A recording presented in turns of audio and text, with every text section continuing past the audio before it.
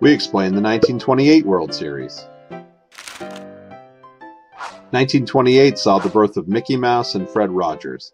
Amelia Earhart crossed the Atlantic, and there was the discovery of penicillin. Following the series, Herbert Hoover would be elected president. The 101 game winning New York Yankees headed into a rematch of the 1926 series against the 95 game winning Cardinals of St. Louis.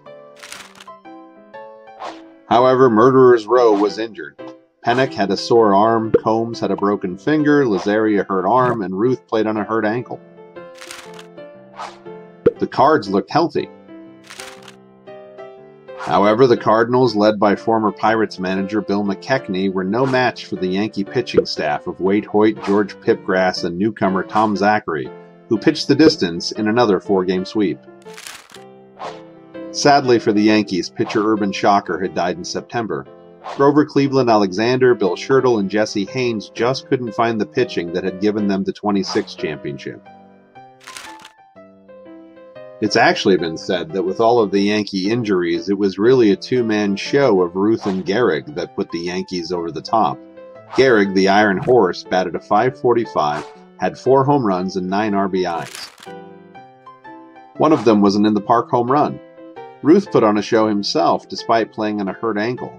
He batted 625, hitting 10 of 16 times, three doubles, nine runs, which included another three home runs in Game 4, the second time he had hit three home runs in a single World Series game. He also managed to get the last out, speeding over into left field to catch a foul ball from Frankie Frisch. The Yankees became the first team to sweep two World Series in a row. They had played in their sixth World Series in eight years, winning half of them. The team also set a Hall of Fame record by putting nine players in the Hall, including new members Leo Durocher, Bill Dickey, and Stan Coveleski, who was playing his last season.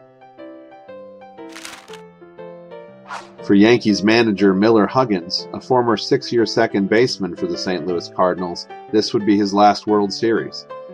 Other Hall members are Alexander, Jim Bottomley, Frisch, Chick Hafey, Haines, Rabbit Maranville, McKechnie, Billy Southworth, Combs, Gehrig, Lazzeri, Ruth, Hoyt, Pennock, and Huggins.